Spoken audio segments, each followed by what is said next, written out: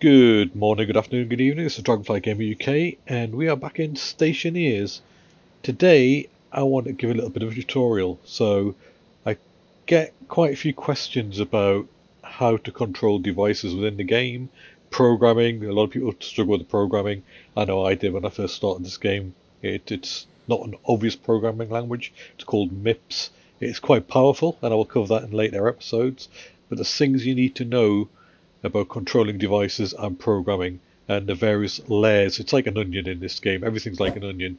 You can do things a very simple way with limited control. Then there's a sort of intermediate level where you have a bit more control, and there's a sort of outer layer where it's really complex, but you have a lot of control over the systems. Um, so I'm going to start today on the very basics. So before you start typing any code, you can control devices like solar panels LED displays and things like this with logic chips. So this is a very basic level.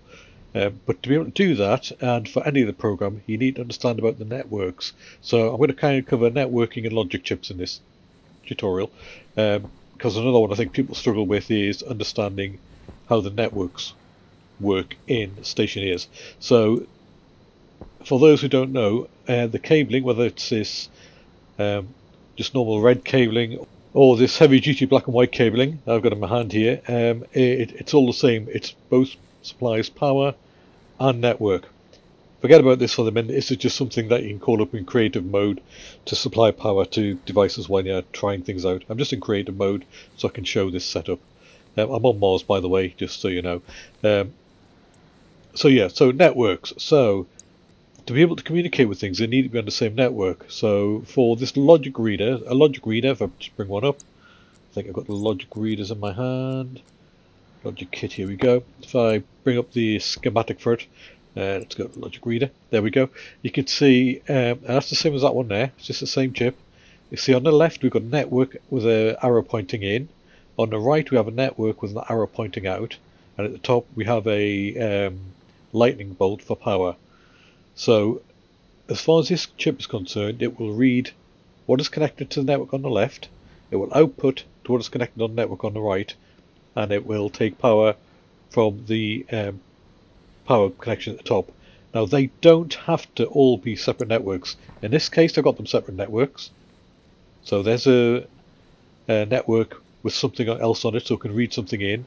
There's this output network and there's its power. So that's one way of setting it up and you can tell if I just bring up the screwdriver to use a screwdriver on these hexagonal pins to change the settings. So this one is in so it wants to know what's connected to the in. So if I click on there you can see at the moment it is daylight sensor. Then you can see to the right that is logic reader cycle to daylight sensor. That's because the only thing connected to here is a daylight sensor. So that's all I can connect to Although I don't know why it's thrown a wobbly. Oh yeah, it's because I've not set that. So, yeah, all I can pick is daylight sensor. Once you pick the daylight sensor or whatever else is connected to it, you then need you then need to tell it what variable you want. Um, so for a daylight sensor, we have let's go daylight sensor. The available logic we can read, and it tells you here whether it can read and write, is mode, act, activate, horizontal, vertical, solar angle, on, prefab hash, solar irradiance, reference ID, and name hash. What you want if you're tracking solar panels, if you're tracking them in the vertical, so from horizon to the highest point in the sky is a vertical. If you're tracking them um, across the sky, so from left to right, that is a horizontal. So we'll just look at the vertical for now on this one. So I want to read vertical. So come with my screwdriver onto the variable, var is variable, what variable do you want to pick from that? So the first thing I can do is, it currently says left mouse, none, so it's none selected at the moment. If I click, it is mode. No, I don't want mode. Click again, I get activate, don't activate. Uh, next click is horizontal, don't horizontal. Next click is vertical, it says vertical. Now I light to turn green because I've picked a valid uh, variable from here for the logic reader to read. In this case, I'm outputting it outputting to this network here, which is a single cable. So that is a whole network. That there. Same that. That's one network. That's another network. So if I look in here, the only thing I should be able to see is a logic reader. And yeah, we've got it there and you can see it says logic reader and doesn't matter how many times I click on it, it all stays logic reader because there's only one thing attached to that network, logic reader. Um, if you've got an error on here, by the way, like if I click on this one, just quickly show you, it'll flush orange. Uh, once you pick a valid reading, a valid um, variable, it'll turn green. If it's off, it'll be red. So you just need to click on it turned on. Okay, so in this one we've picked logic reader, so we've picked that. Uh, and we want output to that LED over there. So um, output, this is the out pin. So this is what we've got to pick. And what we've got to use to select the output device. Um, as you can see, the only output device on here is that. Now that is on that network, but it's not picking it up because that's just providing power. Um, so I can't actually pick that one. If I don't have that link in there, let me just do, do.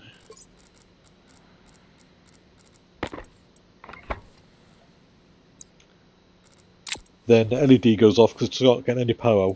So one thing, other thing you need to note is these connections, where this has got a separate network and power connection, this LED is a combined network and power connection. So it has to take not only the data signal, but the power as well. So I need to put that cable back in, like so, and it will come back on again.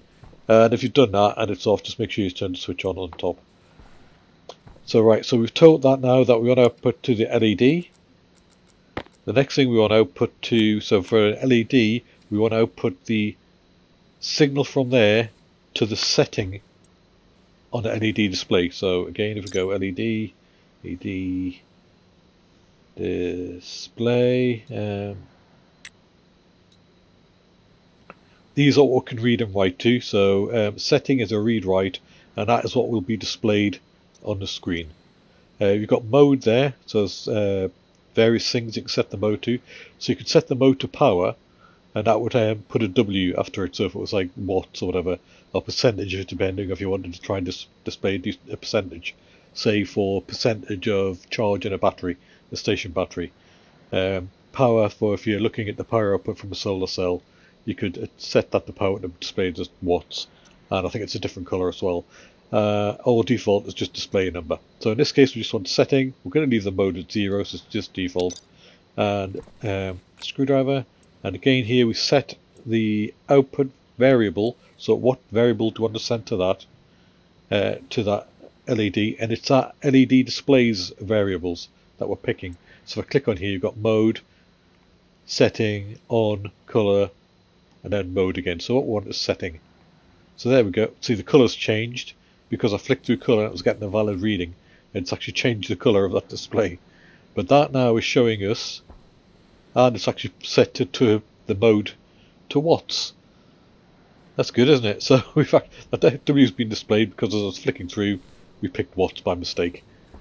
Uh, we've picked the mode uh, to 2, which set to power. So at the moment, that solar cell is saying horizontal 118, sorry, vertical 68, you can see on there if you hover over it, the vertical reading is 68.1.2.3 point. Yeah, that's been fed into here. You can see it's still saying the same thing. Uh, 70 now. That's been outputted to there, and you can see that number's going up. Ignore the W. That's just a mistake in the mode as I'm switching through. So here we've got lots of separate networks, and that is one network. But it's because it's connected to the power um, connections you, you can't see them. They're not connected to network term uh, connections. So same with that. There's no network connection on that one actually, which is why you're not seeing it on network here because it's not got a network connection. Now the same setup, I've got exactly the same setup here, except I've got everything connected together. So I've got this loop through here to here to here. And the reason I did this is now I can show you, if I use a screwdriver on this pin here, which is the in, I've now got LED display, two LED displays, three LED displays, because I've got one, two, three. Um, then I've got batch writer, which is that, which is the one I actually want. Uh, no, sorry, which is what's going to be outputting to. I don't want that. Uh, then we've got, because this is what looking at the input here, so I want that one. So then we've got daylight sensor. That's one we want. That's a daylight sensor. So we're now reading in, and we want to read, let's say the horizontal setting on this one. So the minute it's on, click mode, click again, activate, click again, horizontal. So now taking the horizontal reading from there, which is 127, you can see here it says 126, 127. Um, that has been outputted to here, which is, I know it's feeding back in itself, but because uh, we're not interested, this isn't interested on what's connected here, it's just outputting on a cable. The fact this is all connected together doesn't bother the chip. This one, we've got to tell it what input we want, same as we did over there. But this time, because everything's connected together, there'll be everything on here. So if I click on A, you've got LED display small, LED display small, LED display small, logic reader, which is that one, which is what we want. And that's it, that's all we can do on there. Uh, just all we've got is the LEDs, three LEDs and a logic reader. Uh, it's not picking up the daylight sensor, is it? No, I don't know why it's not picking up the daylight sensor. Okay, that's odd. It is connected. Okay, uh, maybe it's because that's reading, I don't know.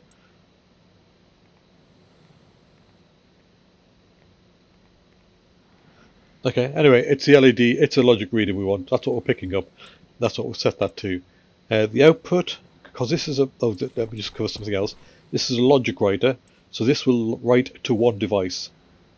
So if I have another LED display on here, um, let's stick it that way. Just know it's upside down, but I'm just doing this for sake of showing you. Turn it on. That one's um, showing the number. This one's zero. Now the reason that is that we've got this one set to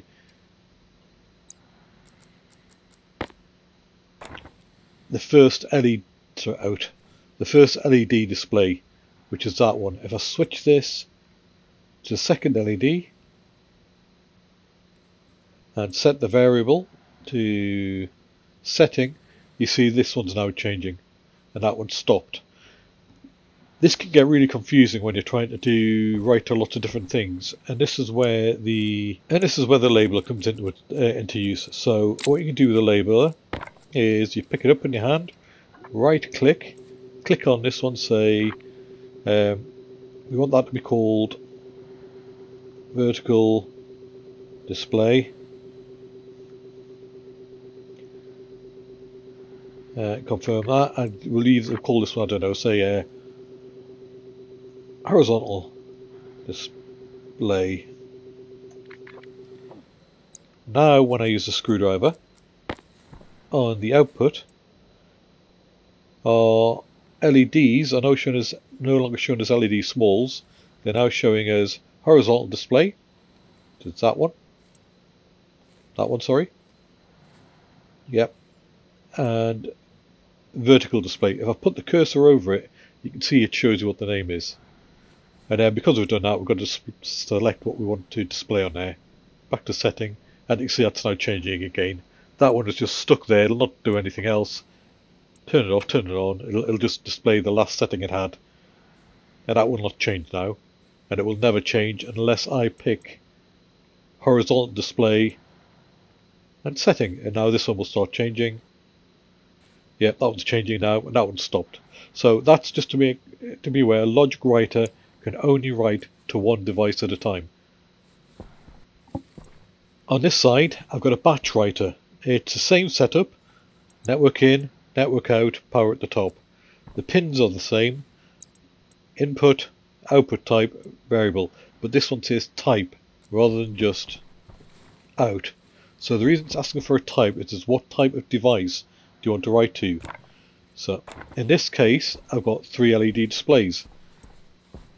Um, I'm using them just as an example. These could be three solar panels, and you could be writing the, the angular information to them. So rather than having to have a one logic writer for every LED uh, solar panel, you can use a batch, and as long as a batch writer, and as long as your LED displays are all the same type, and what I mean by type is um, let's go to solar panel kit, heavy solar panel kit. Yeah, that'll do. So what we've got here is we've got a solar panel heavy dual, a solar panel heavy without the dual. Uh, the dual is um, when you have both the power and the network on the same pin going into the solar panel. and the heavy is where it's got separate network and power. And if I click on these, if I click on this, you see its prefab hash is minus one five four five five seven four four one three. If I click on this one, it's minus nine three. It's a different number, and it will be writing to this prefab hash effectively saying, um, write everything with that number, with that prefab hash. So all of these same type of solar panels will have that prefab hash, and it will write the signal to them. In this case, we're writing it to an LED display.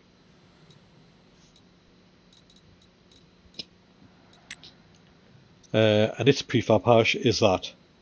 So it's writing to that prefab hash on this network. And because they've all got the same prefab hash, or the same device or type of item on the network, they'll all receive the signal. So you see here, the only other thing I've got on here, I think, is um, the daylight sensor. There's only one daylight sensor, so I don't really want to write to that. Um, the batch writer, because it's connected back to itself, but you don't want to write to itself. Uh, the logic reader, we don't want to write that because I take the signal from that. So it's the LED small. So there's only one LED small on there, and that's because it's all of them. It's all those items of the same type. And then you write the same thing, in this case setting, to all three of them at once. Um, I use this on one of my channels uh, to display the power for a um, Stirling engine. So I've got one right by the door in the Stirling engine room, and I've got another one down by the furnace because I use waste heat from the furnace to drive the Stirling engine. And I like to see when the power output from Stirling engine is dropped off so I know I can send more hot gas to it to get it going again. So that's this is why two sources. That's a batch writer, that's a logic writer, that's a single network, that's a single network, that is a single network, and on this one, everything here is one single network, and it's important to understand these networks. I know I'll probably stress this, overstress this quite a bit, but it's important to understand these networks. Now, there are different ways of segregating networks. One way is to, as you can see here, logic readers, logic writers, that they, they segregate networks. Another way is, um, let me just bring up some bits. Things that can block a network. So, as I said before, logic reader, logic writer can block a network. I'll explain why I've connected that together in a minute, but for now, just assume that's also connected. So, um, a logic reader can break a network, a logic writer can break a network. APU, power I call it an APU, apologies, it's power controller. As we click on here, the only thing, well, there's nothing. We can't select anything from there. There's nothing on that network because that is blocking this signal from any of these devices here. Nothing is getting through that, so I can't actually pick anything. So that's blocking a network, so that's now a separate network. Same goes for transformers. I turn transformer on, just whack up some power. This one needs about 10 watts, so there's more than the power come out of there. Turn it on. Again, I can't pick anything because that is blocking the network. So you can use power controllers transformers to segregate networks. Uh, they still allow power to pass through them, but they don't allow the data signal to pass through them. If you want to control this APU, you've got to be connected to this side of it. Um, and you can't control the transformers, I don't believe, it remotely. Um, let me just have a look. I'm saying that, I don't believe you can.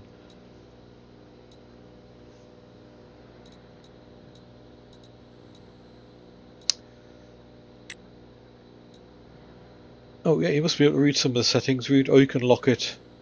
Okay, so you can, so it must be this side you have to be attached to, which is the power inside, because I'm connected to the power outside, and I can't actually read anything from there.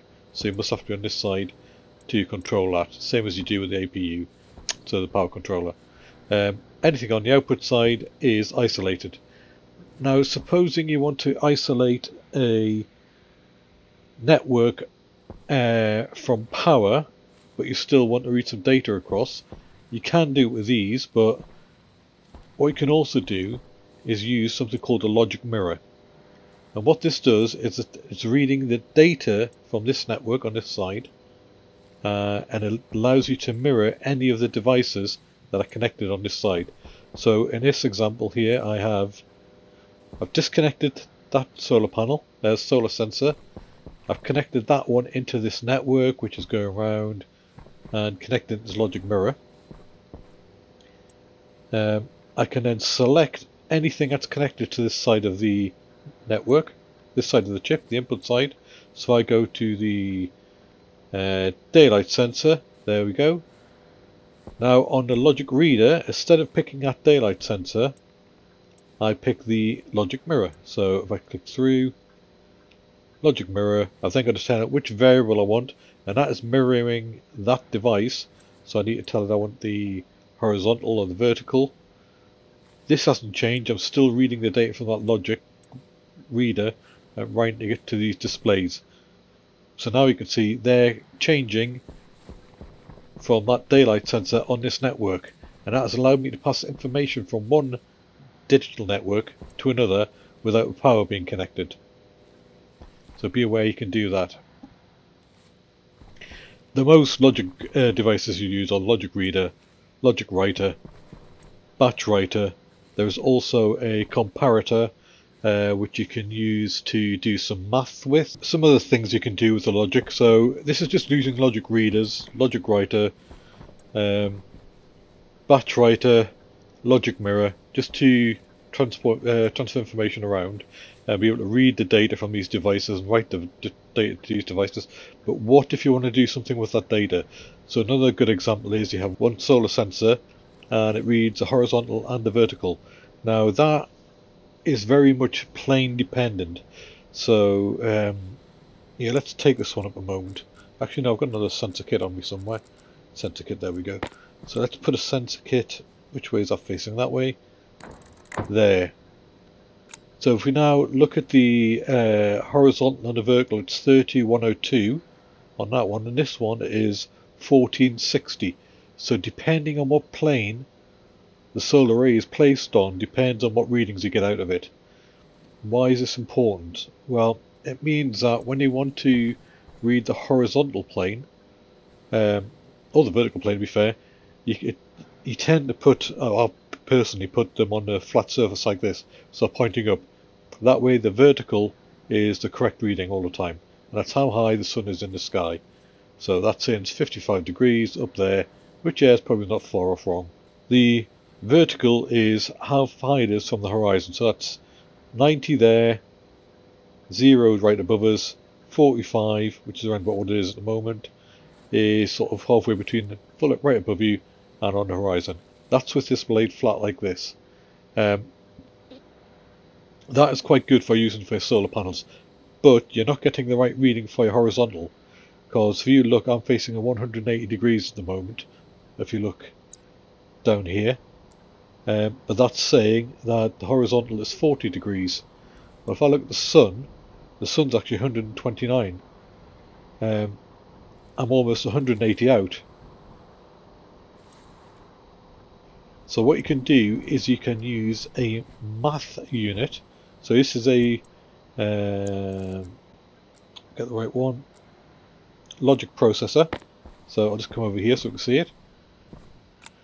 It has various things. So there is a math unit, uh, which allows you to do, uh, it has an input on the left and on the right. Let's look at this one here.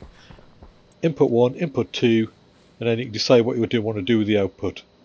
So on this one we've got add, subtract, power, multiply, uh, mod, which is what's left after divide, after divide, uh, log, so logarithmic scale, uh, divide again, I don't know what that on 2 is, then we're back to add. So if we just look at add or subtract on the main ones. Um, that's a math unit, then we've got the, that's a math unit, sorry, then we've got the comparator unit, select unit, min max, and unary math unit. I think we're back to gate unit. Um, I'm not going to go through all these. The ones you'll use the most are the math, to be fair. Um, I don't think I've ever used any of these other gate, these other ones. Other people probably have, but I've never used them. I've never had need to use them. All I've ever used is a math unit to take two numbers uh, to work out where the sun is in the sky. And so one of the inputs in this case is, hopefully following this, um, still connected to my network, so it's still reading from that um, daylight sensor over there, through here, through a master mirror, through that logic chip, out on this network. So I'm reading in this side um, the logic reader, so you see it is logic reader, left mouse. Uh, on this side I'm reading logic math, sorry, logic memory, and that's the only thing connected on this side. And this is logic memory. And logic memory, you can set the number by using these pins. The big pins go up in hundreds, so if I click on a, one of those, it goes up by 100. The small pins goes up by ones. If you press C while you're clicking on one of these pins, the big pins, it goes up by tens. If you press C when you click on the small one, it goes up by a tenth, or 0.1.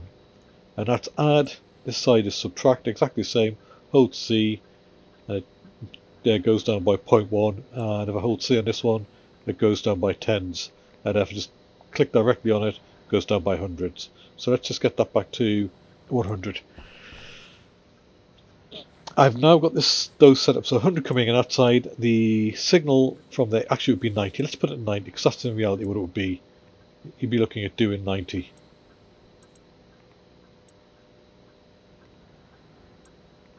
There we go. Um, got the signal coming in from the daylight sensor going in that side. We have the 90 coming in from this side and now we can add them together which we're doing. So that is 113 plus 90 should be 203 and yeah we're there. And that's just going, going to the logic reader. Logic reader is reading the output from the math unit and sending it to the display. Um, ignore that. That's just there the power of this and this.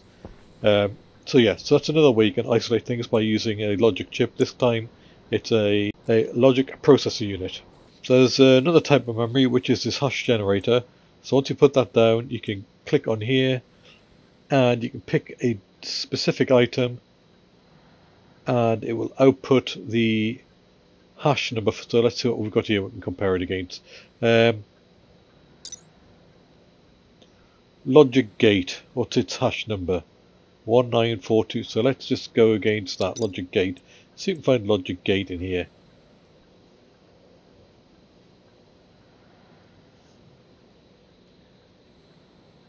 That'll be your logic processor. That's the closest you can get. So that would output the hash number for a logic processor kit. Um, other ones we've got is a logic processor we've done, IC housing. Um, let me just take one of these. The easiest way. So you've got logic reader, which we discussed, that reads some information from a device. Logic writer writes to a single device batch writer writes to a single type of equipment of devices or a single type of devices. Uh, logic mirror is that one there, so we take an input and pass it over to another network. Uh, slot reader, I couldn't find anything about a slot reader, uh, so I don't really know anything about it. Uh, batch reader, you can use it to read the same signal from a type of devices. So say if you had three batteries, you could read the um, power rating of them, how much charge you've got in there. It then averages that and outputs it. Uh, reagent reader just reads um, the materials, I believe. Uh, and then yeah, yeah, I've never used these. Never got a logic switch. I've never used. I've never used that. I've never used that. I've never used that. I've never used that one yet. I'm tempted to use that one to try it. I've not used a slot reader. I have used a logic mirror and I've used batch writer, logic writer and logic reader. I guess that one's good if you want to set a switch up in here to do something. Uh, maybe it's launch a rocket or something like that.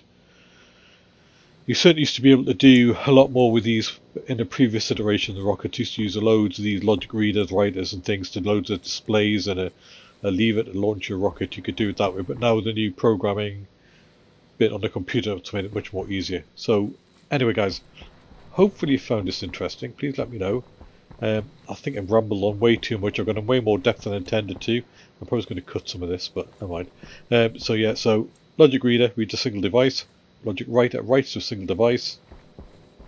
Batch Writer writes to a single device type, in this case LEDs. Um, logic mirror, you can imitate a device on another network. So in this case, we were mirroring or imitating the daylight sensor and then reading that logic reader. So that literally just imitates that. Um, memory, you can set uh, a numerical value. Hash memory, hash generate generates a hash number uh, for device which is selected using the pin. And then we've got uh, processor units which can do various mathematical operations. I tend to just use a math unit if I'm honest. But that needs two inputs, obviously in math in this case, a memory input and an input from a daylight sensor. And then you output that to whatever you want. Um, segregate networks, like I said, logic memory will segregate a data network. Uh, will allow you to read across from it. Transformer will segregate the power. That segregates the power, by the way, but allows you to read some of the data across. A transformer segregates the data and to a limited extent the power because you control how much power flows through it.